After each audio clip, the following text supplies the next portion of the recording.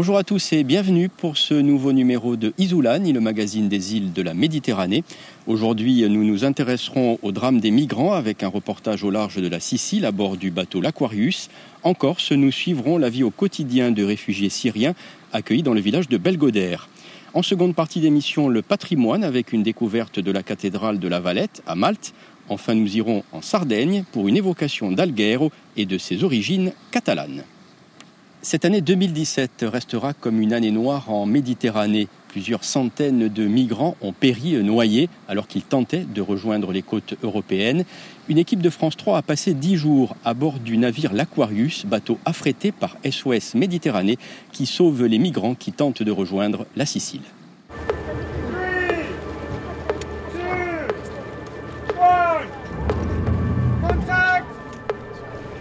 125 000 personnes ont traversé la Méditerranée entre janvier et septembre 2017. Sur la même période, plus de 3 000 migrants y sont morts, c'est sans compter les disparus. Pour limiter le nombre de morts, des ONG sillonnent la Méditerranée entre la Libye et l'Italie. L'Aquarius, bateau de SOS Méditerranée, est le seul à faire des sauvetages 12 mois dans l'année. Qui sont ces candidats à l'exil? Que fuit-il? Que cherche-t-il? J'étais un élève, mais il n'y a, pas assez de l'argent. J'ai sorti pour gagner de l'argent, quoi à manger. Nous sommes des cultivateurs, il n'y a pas beaucoup de pluie.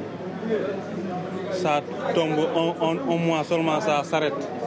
Tu sèmes les kilos de maïs, riz, tu sèmes ça, il n'y a pas l'eau. Ça se reste. Les, les sèvres, les vases, tout ça meurt. Maintenant, j'ai en pour gagner l'argent. Les parents vont manger Il n'y a pas quoi manger. Comme Omar, ces hommes fuient la misère de leur pays. Ils viennent majoritairement d'Afrique de l'Ouest. Tous tentent de rejoindre la Libye pour y travailler. Mais la plupart ignorent que dans ce pays, aujourd'hui instable, le commerce humain s'est généralisé. Les migrants, comme Omar, ils sont kidnappés, vendus, torturés. Frappé, il n'y a pas quoi manger, ils te frappent chaque jour. Si tu as mangé à 19h, c'est demain encore à 19h que tu vas manger. Maintenant, chaque jour, c'est à taper, tu pleures beaucoup. Même il m'a cassé avec le, le qu'il a, la main là. Il te frappe pour que tes parents entendent. Il te donne le téléphone, il te frappe tes parents entendent, tu cries là-bas beaucoup. Après, tes parents vont savoir, ah, tu es en souffrance. Tu es en souffrance. Maintenant, ils vont amener l'argent, ils mangent. Après leur sauvetage, ils arrivent à bord pieds nus, épuisés, déshydratés. Ils n'ont plus rien. Seul lien avec leur passé, ces numéros, sauvés de l'eau. À chaque nouvelle arrivée, l'accueil est structuré. Remise de kits de survie et triage, avec remise de bracelets. Le triage consiste principalement en demandant aux personnes qui viennent à bord de quel pays ils viennent, euh, quel âge ils ont et euh, en général de savoir dans quel état ils se trouvent pour qu'on puisse euh, le mieux utiliser nos ressources et connaître leur situation. À bord, les bénévoles de SOS Méditerranée collaborent avec les salariés de Médecins sans frontières et l'équipage du bateau. Les sauvetages peuvent survenir de jour comme de nuit. Le rythme de vie des équipes dépend uniquement des alertes. Can you hear me? English, français, arabe? À l'est de Tripoli, un canot à la dérive a été signalé par les autorités maritimes italiennes. Comme beaucoup, son moteur a été volé par des Libyens en début de traversée. Ils sont 150 dans cette barque en bois. Ils ont payé chacun environ 2000 euros aux passeurs. Les femmes sont de plus en plus nombreuses à tenter l'exil, environ 16% des voyageurs. Une fois à bord, elles sont séparées des hommes. Leur référente, Alice, la sage-femme de MSF, les sensibilise sur la prostitution forcée qui touche principalement les Nigérianes, comme Mathilda. Um, J'ai rencontré une femme, elle m'a dit que si je partais en Libye, je pourrais survivre, que ma vie serait meilleure. En arrivant en Libye, elle a changé son histoire. J'ai dû travailler comme prostituée. Dans un appartement pour prostituées. J'y étais avec d'autres filles. On était entre 15 et 20. Et elle vous battait? Oui, beaucoup. Vraiment beaucoup. Elle avait l'habitude de nous battre avec des fils électriques, quelquefois avec des tuyaux ou des bâtons.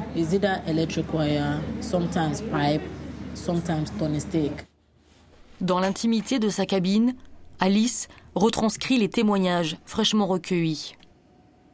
C'est souvent des, des viols en groupe, donc c'est souvent, euh, ce sera souvent deux ou trois mecs qui la tiennent pendant qu'un autre est en train de la violer. Euh, il y a toujours euh, un élément d'arme à feu qui, qui entre en jeu. Mon esprit n'est pas assez tordu pour pouvoir imaginer ça en fait. C'est pas possible. J'espère que personne ne peut imaginer ça. C'est juste. c'est une horreur. Elle espère que les certificats médicaux qu'elle rédige aideront les victimes de violences sexuelles à obtenir l'asile plus facilement. Parmi ceux qui fuient la Libye, les Bengalis sont de plus en plus nombreux. Ils ont toujours travaillé en Libye, mais depuis la mort de Kadhafi, ils sont désormais considérés comme des esclaves. Tajim, 16 ans, a été capturé, torturé, vendu deux fois. Ses traces sont celles des menottes avec lesquelles on l'enchaînait avant de le battre.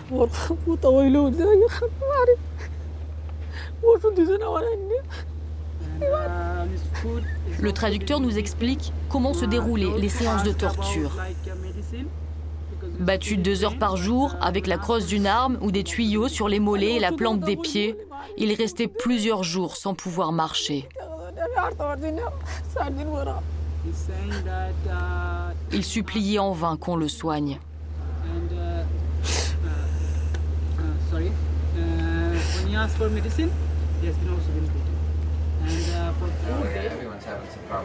Sur chaque rotation, un seul médecin est à bord. Lors du dernier sauvetage, il a vite repéré Ibrahim, 16 ans, 1m88, 42 kg. Il a une pneumonie et une septicémie. Il est resté plusieurs jours dans une cellule avec des cadavres en décomposition.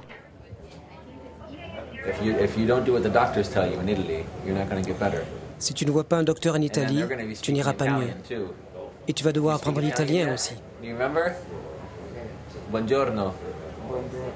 Io sono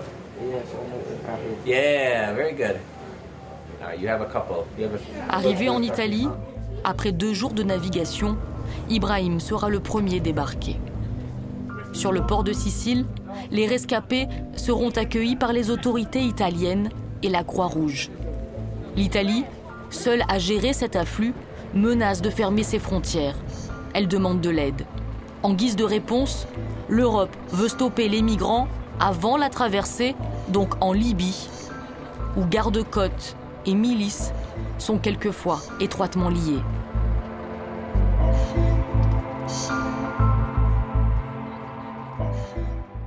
Un bel exemple de solidarité et d'humanisme à présent. Une famille de réfugiés syriens a été accueillie dans le village de Belgodère, en Balagne. Un appartement a été mis à sa disposition par la mairie de cette commune. Loin des drames et de la guerre, ils ont commencé ici une nouvelle vie. H I J K L M N O P P P Q Il y a six mois, l'alphabet latin leur était totalement inconnu. Aujourd'hui, il n'a quasiment plus de secret pour Ilaf, 8 ans, et Aïcha, 6 ans. Le résultat en grande partie de ce cours hebdomadaire, sous forme d'exercice ludique, un professeur leur apprend le français. Ça, c'est rouge. Ça, c'est un stylo. Ça, c'est stylo rouge. Stylo le feutre rouge. Ça, c'est très bien. Très bien. Est-ce qu'on entend dans table? Là s'arrête leur statut particulier car quand les deux sœurs réintègrent les bancs de leur classe, elles deviennent deux élèves comme les autres. Les enfants y sont pour quelque chose à l'annonce de l'arrivée de ces fillettes venues du bout du monde. Ils ont été émerveillés, curieux aussi.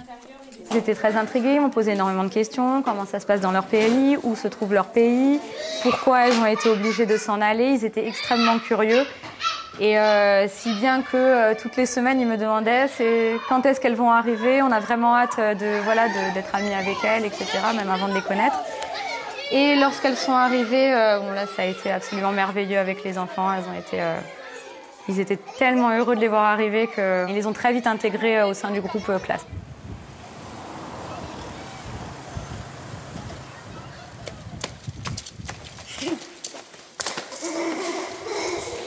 C'est un appartement mis à la disposition par la municipalité de Belgodère, meublé par les habitants, qui abrite le quotidien de la famille Al-Ramoun, loin, très loin de celui qui était le leur au nord Liban. Ils vivaient dans cette maison depuis qu'ils avaient fui la Syrie et le régime de Bachar el-Assad, une expérience douloureuse. Être syrien au Liban, c'est difficile. Il y a souvent des problèmes. On ne peut pas se déplacer comme on veut. Il n'y a pas la guerre, mais on n'était pas libre. Donc, on a décidé de partir pour donner une chance à nos enfants et à nous-mêmes. Cet autre futur, il a pour cadre Belgodère, un village de quelques 700 habitants entre mer et montagne. Ici, au cœur de la Balagne, entre pudeur et modestie, on a juste le sentiment d'avoir fait son devoir en devenant leur terre d'accueil. Nous avions euh, demandé au service de l'État euh, simplement de pouvoir euh, recevoir une famille qui était dans un camp et où il y avait des enfants. Donc c'est ce qui s'est passé. Donc nous savons, je sais, nous savons que c'est des gens qui étaient en souffrance, qui ont fait le, pari de se déraciner, qui est un pari euh, à mon avis, beaucoup plus difficile pour eux que pour nous qui s'arrêtent simplement presque à ouvrir une porte d'un appartement et de les accompagner pendant quelques mois euh, humainement et professionnellement pour pouvoir les intégrer. Euh, la grosse difficulté, elle est pour eux. L'accompagnement prend diverses formes. L'État, pour le moment, alloue un budget hebdomadaire de quelques 200 euros à cette famille. Laetitia, elle assiste Amina et les siens dans certaines démarches.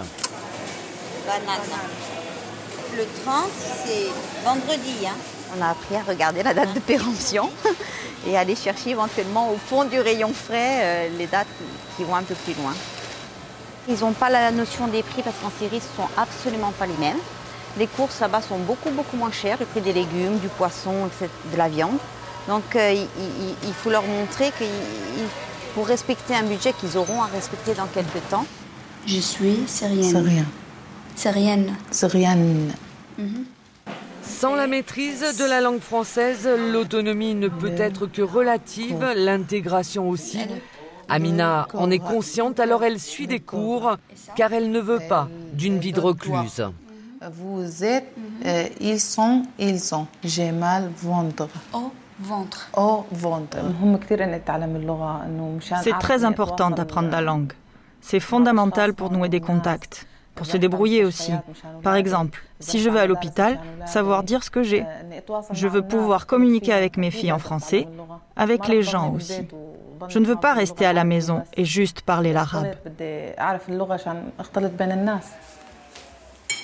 De leur vie d'avant, ils n'ont que des souvenirs, quelques recettes aussi, comme celle par exemple de ces gâteaux qu'Amina tient de sa mère. Son rêve serait d'en fabriquer pour les commercialiser une expérience nouvelle, elle qui n'a jamais travaillé.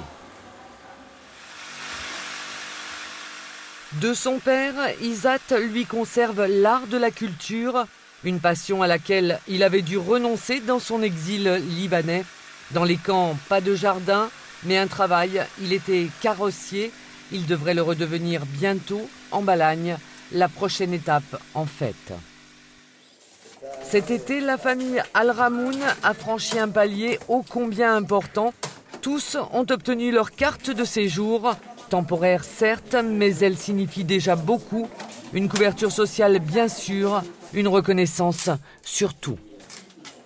Je suis très contente. Cette carte est la preuve de notre existence en France. On peut désormais faire notre vie tranquillement. Cette carte est la promesse d'être désormais sur cette terre une famille comme les autres, une joie qu'ils partagent avec leurs parents, leurs frères, leurs sœurs restés au Liban.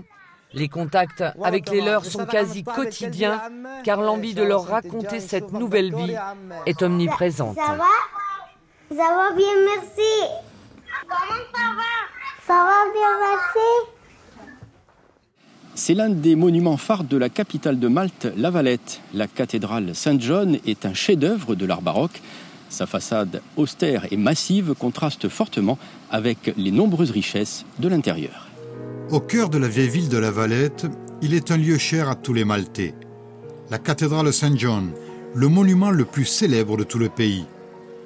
L'histoire de cette île se retrouve à l'intérieur de cette cathédrale. Bâtie à la fin du XVIe siècle, tous les grands maîtres de l'ordre de Malte qui se sont succédés l'ont enrichi. Un extérieur des plus sobres, une façade des plus simples, et dès que l'on ouvre les portes, on est plongé dans l'un des trésors les plus spectaculaires de l'art.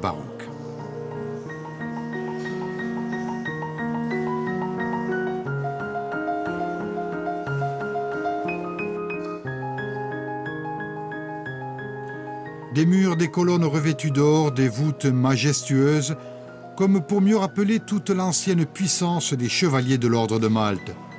Mais cette histoire ne s'est pas écrite en un jour.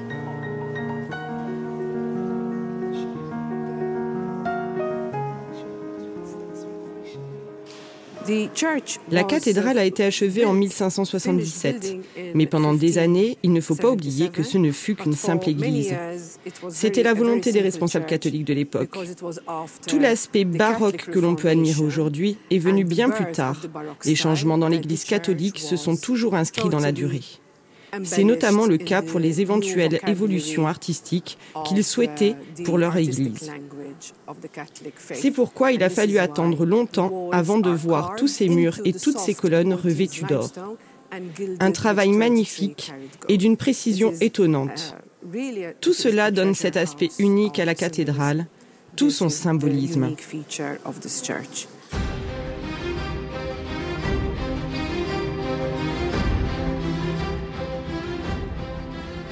Point d'orgue de ce voyage dans l'histoire de Malte, le tableau de la décollation de Saint Jean-Baptiste du Caravage, le peintre le plus célèbre qui ait vécu à Malte. Une des œuvres les plus emblématiques de celui qui a symbolisé l'école baroque de la peinture. Un trait des plus réalistes est l'utilisation du clair-obscur qui renforce l'aspect dramatique des scènes qu'il reproduit. Caravage fait partie indéniablement de ces artistes qui ont changé l'histoire de la peinture. L'hommage rendu aux chevaliers de l'ordre de Malte, un sol de marbre sous lequel reposent 400 tombes. Sur chacune d'entre elles, leurs armoiries sont dessinées. Le travail sur ce marbre, le plus souvent venu de Carrare, est impressionnant. Une juste reconnaissance pour cet ordre qui reste la plus ancienne association d'aide humanitaire la plupart des grands pays européens étaient représentés dans cette confrérie. La cathédrale est composée de huit chapelles. Cela correspond à huit nationalités, huit langues différentes. Ces langues sont celles des origines des chevaliers de l'ordre de Malte, car tous ces chevaliers venaient de tous les pays d'Europe, un peu comme l'Union européenne que l'on connaît aujourd'hui. Vous qui marchez sur les morts, n'oubliez pas qu'un jour, on marchera sur vous. C'est l'inscription que l'on trouve sur la porte par laquelle entraient les chevaliers, comme pour mieux souligner la brièveté de l'existence. L'histoire de Malte, c'est aussi celle de ses chevaliers. Cette cathédrale Saint-John sera toujours là pour nous le rappeler.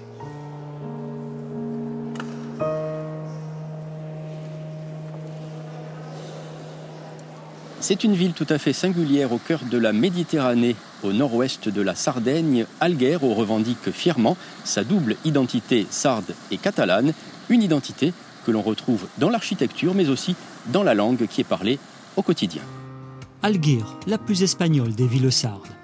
Les premiers pas s'amorcent par la porte à terre, l'entrée principale de la ville. Les fortifications qui l'entourent et les nombreuses tours attestent qu'elle était bien gardée. Bien que les premiers remparts aient été construits par les Génois au XIe siècle, c'est le royaume d'Aragon, en 1353, qui en a fait une véritable forteresse, si imprenable que la ville a pu maintenir son identité catalane pendant plus de 600 ans.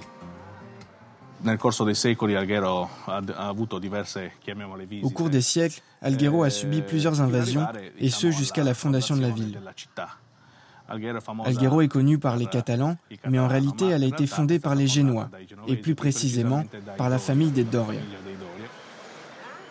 Le patrimoine est constellé de témoignages du passé, non seulement dans la pierre, mais aussi dans les mentalités. En 1372, la ville est baptisée Alguer.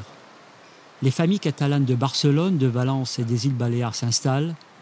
Alguer devient le principal port catalan de Sardaigne. Alors, peu sont les Sardes, les étrangers qui sont admis dans la cité. Cette ségrégation volontaire explique comment la langue catalane est omniprésente jusque dans les années 60. Les Sardes et les Italiens qui s'établissent n'ont d'autre choix que d'apprendre le catalan.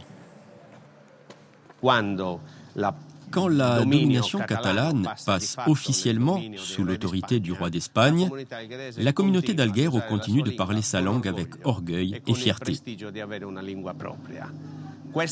La langue catalane survit au cours des siècles et à l'histoire, même au XVIIIe, en 1720, lorsque Alghero et la Sardaigne passent sous la domination de la Savoie. Aujourd'hui encore, Alghero protège sa langue avec autant d'orgueil et de plaisir.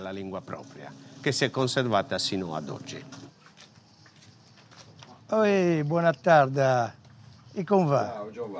E come va? Un po' che, che riparazione al motore. Al motore. Invece una pasca mi tocca também a fare dei meccanici. Mi tocca a fare meccanici, una pendita in nafata. Aujourd'hui encore, trois siècles après le départ des Ibères, on entend les gens parler catalan, comme les pêcheurs de la région. Ils sont très attachés à l'histoire de leurs ancêtres.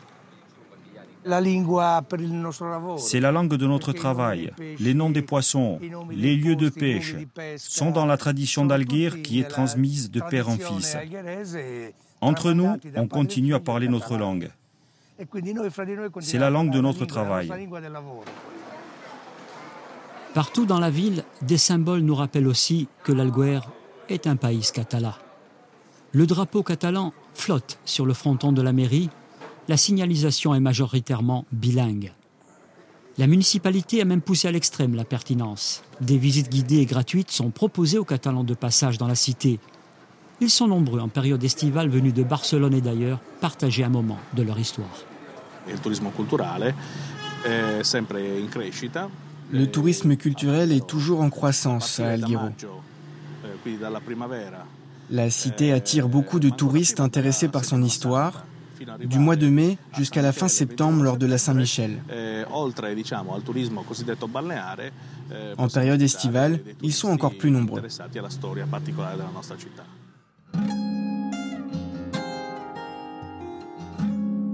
L'église San Miguel est l'un des édifices d'inspiration gothico-catalane parmi les plus emblématiques et les plus visités de toute la Sardaigne. Construite au XIVe siècle, l'église est un modèle d'harmonie architecturale. Son dôme couvert de tuiles multicolores est devenu le symbole d'Alghero. La coupole multicolore de l'église Saint-Michel est un symbole moderne. Les carreaux colorés ont été posés en 1900. On peut dire qu'il s'agit d'un symbole de la cité d'Alghero, mais il y en a tant d'autres. Alguer, aussi nommé pupille d'Aragon, s'est embelli au fil du temps. Son histoire en fait une cité pas comme les autres. Ces dernières décennies, elle a réussi le pari d'allier la culture du passé et le tourisme balnéaire. Les élus locaux ont scellé des liens très forts avec le gouvernement de la Catalogne et des îles Baléares. Plusieurs vols aériens assurent la liaison directe avec la cité d'Alguer. Questo un fatto quasi rivoluzionario. C'est un fait révolutionnaire dans les rapports entre la Sardaigne, Alghero et la Catalogne. Les Catalans peuvent se déplacer à moindre coût, rapidement et facilement. Les Sardes ont également accès à la réalité culturelle, linguistique et touristique de la Catalogne. Au-delà de la culture et du corail, qui est l'un des plus renommés de toute la Méditerranée, la gastronomie s'invite au succès économique de la cité. Le mélange des saveurs catalanes et sardes lui offre une particularité culinaire tournée vers les produits de la mer, avec la langouste comme mets de référence, la fameuse aragosta à la catalane. Elle doit sa succulence à une solide cuisine du terroir. Forcément, on en redemande.